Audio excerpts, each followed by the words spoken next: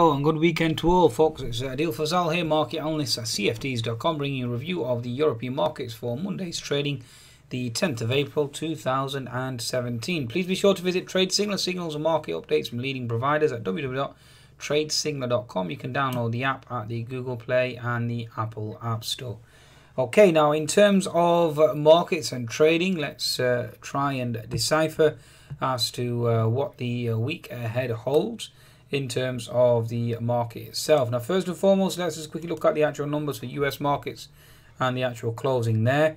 Uh, US markets on Friday certainly could close negative, therefore, you are looking for a negative bias to feed through into Asia and obviously feed through into the uh, European markets as well. Now, the uh, Dow down more or less uh, flat, but negative. S&P down as well. Nasdaq more or less flat stroke negative, global down, gold, oil. Now let's try and decipher the fundamentals, okay?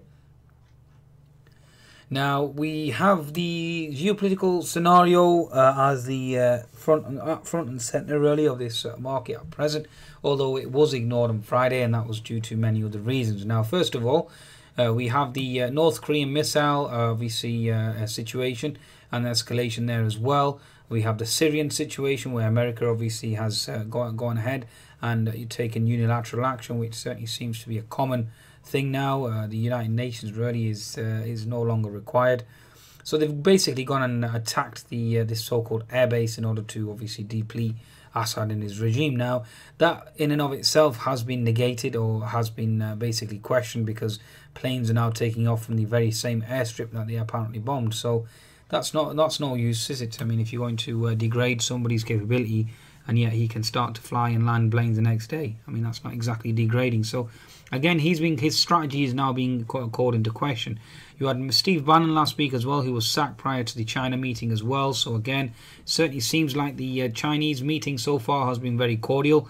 His threats of calling, uh, claiming China was raping his country, so on and so forth, is uh, idiotic uh, remarks as usual okay, lacking any uh, type of intelligence really.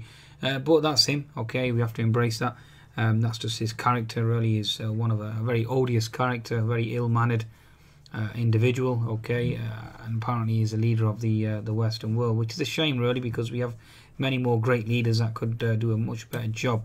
Okay, so that is the status quo, folks, and no matter how much we dislike it, we have to embrace it. That is the status quo, and it's basically just remain patient and uh, let's hope for the next potential successor to uh, to uh, drastically improve. And to be honest with you, anybody could do a better job than him. Um, really. Uh, okay, so um, in terms of the markets, again, you have uh, geopolitical concerns front and center now. Uh, the Iranians and the Syrians, basically, or the Iranian Syrians, and the Russians, basically, I've been told that they must basically withdraw the troops, otherwise, they face war, aggression. Uh, the Russians have already stated that they were one inch from war. So the whole scenario certainly seems to be getting out of control. You have the situation in Egypt now as well, where um, let's pray for the people, those that have passed away, uh, and uh, let's hope this doesn't happen ever again, where two churches have been bombed, and uh, now the Egyptian situation certainly seems to be out of control as well, with troops being deployed down Egypt, and that certainly is unsettling. So the concept of the one and done okay, has certainly been uh, negated now, given the fact that uh, uh, the uh, the actual national secretary advisor as well, uh, certainly stating that their their issue now is regime change. That's their aim, okay. So the one and done policy is certainly out the window now. It certainly seems like Mr. Trump is hands on, even though he claimed prior to coming to being elected that he would not be wasting money on war, which obviously is on a complete U turn. And also, he said that he would brand China a currency manipulator again that has been negated as well. So his hostile rhetoric towards China in order to get votes obviously succeeded. Now that he's in power, he doesn't care at all. Okay, and nor does he care about the uh, the potential voters that uh, that, that actually um, brought him into power. His, his, approval ratings have dropped. I mean, the worst approval ratings ever for a president. So, that, so the whole scenario certainly seems seems to be interwoven. Adding the fact that uh, he's failed on the healthcare bill, okay, and now he's losing. Uh, people are losing hope in terms of the tax reform uh, and deregulation, etc. So the whole situation, from my perspective, really is that you have Trump on the decline. Okay, whether you want to look at it politically, socially, militarily, etc. Uh, all those facets certainly are occurring. Okay, uh, you are seeing a risk aversion kicking in now with geopolitical concerns via North Korea, via Syria, and Egypt now as well. The situation certainly seems to be um, one of uncertainty, and uncertainty generally is negative for the stock market. So let's see exactly what's happening with the uh, technical picture now to see if we can uh, uh, cause the uh, fu- uh, fundamentals to align with the technicals. Let's start off with the German DAX. Weekly chart is double top bearish.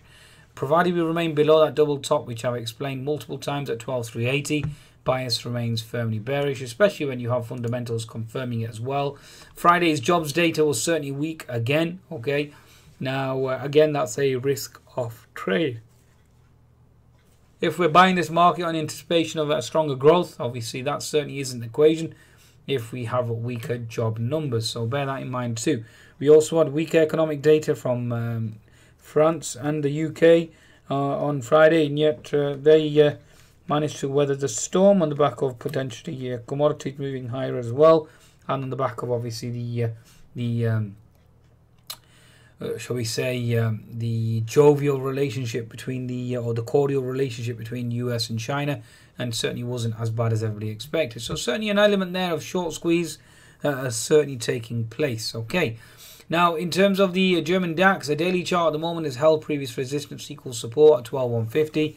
Okay, ideally you are looking for gap fill below the target being 11. Well, call it 11990. You're looking for gap fill. That's what I would personally be aiming for.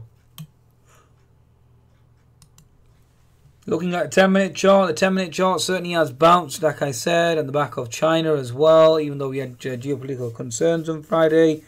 Obviously, the euro dropping as well, certainly helping the German DAX. We actually went above and closed the gap. Gap fill is at 12 to 30. So watch out for resistance at 12 to 30 if you take into account the top at 12 to 40 as well. So looking at 12 to 30, 40 resistance on the German DAX, looking to potentially move lower, folks. Okay, just bear that in mind. And remember the golden fill gap at 12,000 as well. Looking at the French CAC, the French CAC really is the strongest link out of them all. The 10 minute chart you can see certainly breaking out on a Friday.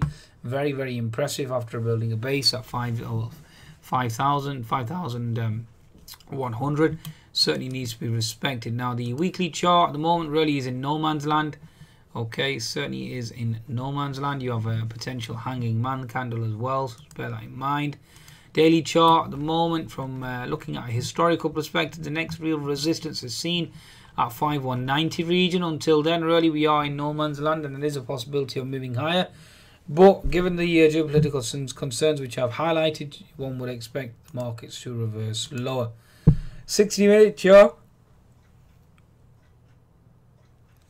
Looking at double top scenario here on the 60 minute chart, so therefore looking for a potential move lower.